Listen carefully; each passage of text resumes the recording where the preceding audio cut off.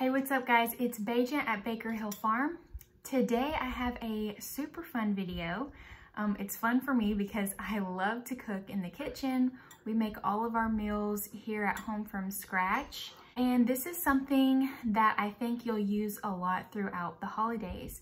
And that is a dry mix cream of mushroom or cream of chicken soup. So this is just a cream of base and you can use it, you can, you know, season it up to your preference for all of your holiday baking.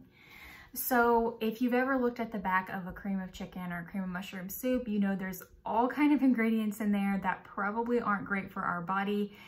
Usually if I can't pronounce it real well or I can't grow it, I don't always want to consume it. Or if I can't get it from a cow, you know, if the process of, if me understanding where it came from, if that process is a little bit too difficult, then I don't know that I want to put it in my body. Of course, that doesn't go for everything, but you get the idea. So today we are going to make cream of whatever mix for you to keep in your pantry. You'll scoop it out, put it in your pot with some liquid, and then warm it in your pan and essentially create a gravy. Because really, all that that cream of whatever soup is, is a flavored gravy. So if you know how to make gravy, then great, you're, you know how to make cream of insert your flavor soup. But it is nice convenience wise to just have a mix on your shelf that's already pre-seasoned that you can use. So that's what we're gonna do today. And our base is gonna be a milk powder. Now I have here, this is from Azure um, because I trust their company. I trust the milk powder that they're putting out. And this is just a instant milk powder, okay? The other ingredient you're gonna need is cornstarch. And you can get organic cornstarch through Azure as well. I do not have any with me. I'm still waiting on my order.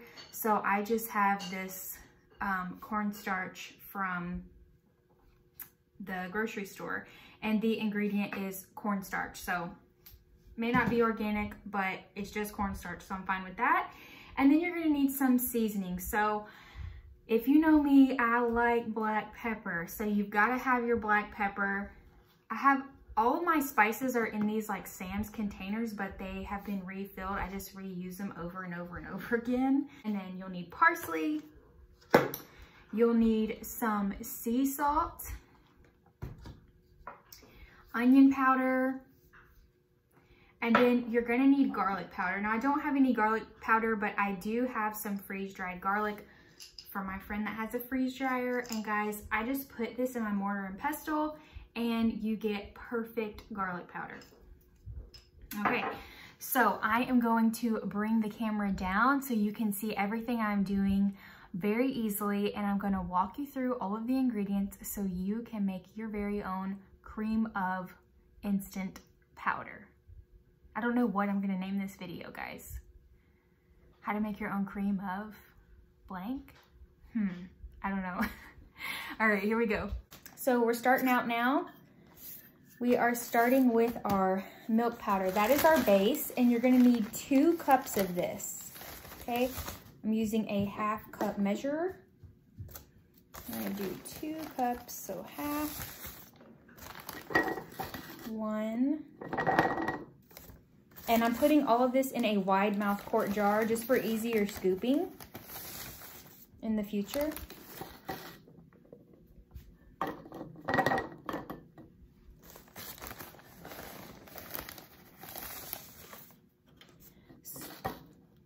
So the point of this recipe is for it to be about equivalent to um, one can of cream of whatever soup.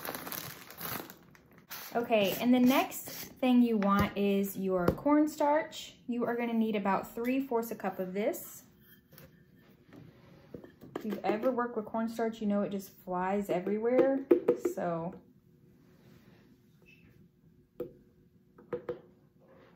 So there's half a cup, roughly. Well, I need a new container. Okay, so I've got my new container out. It says no mess. That is so funny.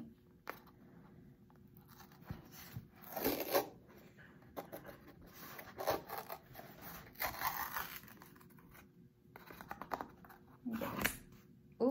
Yep. No mess is right, right? oh. Oh. Okay. Okay. So that's about a fourth of a cup, and I had a half a cup in there, so three fourths, three fourths cup of cornstarch. And before I add all my seasonings, I'm gonna try to whisk this through. You know what, I might need to put this in a bowl and whisk it and then funnel it back in here. Oh, well no, it's mixing pretty good. Yeah, I think I'll put it in a bowl though. Grab me a bowl? So what I'm gonna do is I'm gonna put all of my ingredients in here, then I'll put it in a bowl and whisk it and transfer it back in here. I'm just gonna put everything in here in this because you can see it. Okay, the next thing you want is actually a teaspoon and a half of onion powder, okay? And I'll have all of these measurements over on the blog.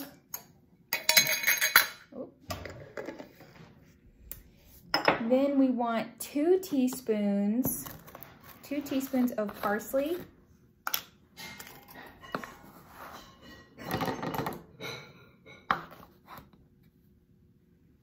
One, two, all right, and then one teaspoon of black pepper. Now, if you are not crazy about black pepper, can you get one a little bit bigger? Like I am, if you just don't just love it, then you can do like, I don't know, half a teaspoon. But I really like black pepper in my gravy. And one teaspoon isn't that much for all of this because this is a lot. So I'm actually gonna do one and a half teaspoons of salt. And for whatever your recipe is, you may need to add more salt depending on um, how it tastes. Thank you. You're welcome. And then we need our garlic powder. You need half to one teaspoon of garlic powder. So I'm just gonna take four cloves and see how much that gives me.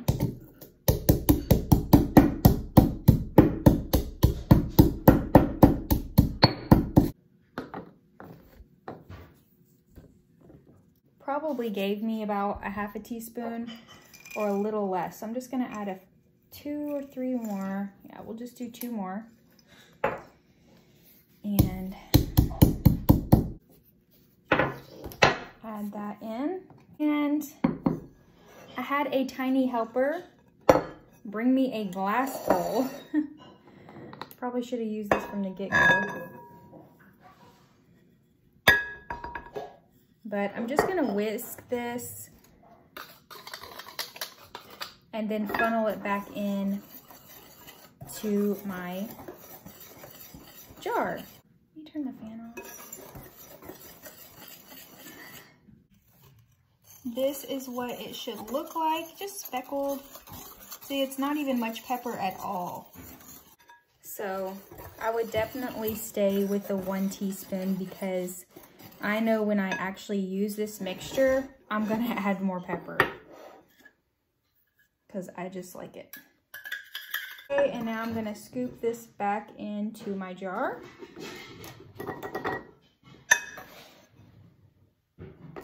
And then we'll label it.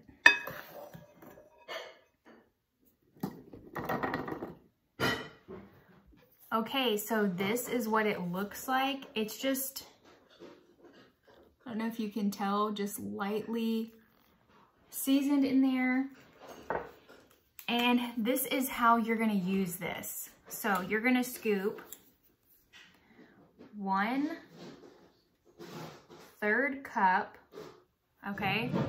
So I'm writing it on my jar, one third cup plus one to one and a half cups. I'm writing it all across the side of this jar. Okay, let me show you. Okay, so here we go. You take one third cup of this mixture and add it to in between one and one and a half cups of liquid. So you can do broth, you can do water. You could do milk, I guess, but remember this is a milk powder, so it's already milk based. So I will probably use water just to save resources. Um, and it's going to be just as delicious because it's a milk powder, so it's going to be super flavorful. So I hope you guys found that to be informative. This is such an easy recipe. Um, it's just so handy to have in your kitchen. You could even give this away as gifts this season. Um, maybe you have some home cooks who you know use that preservative-ridden cream of whatever soup and you want to give them something useful and a little bit healthier. This would be such a sweet idea. Um, you could just put it in a cute little jar, maybe even split this between two people and do pints and wrap um, a little bit of twine with the gift tag with the instructions and what it is. That would be super cute and a really useful gift. So I hope you guys like this video. Please subscribe.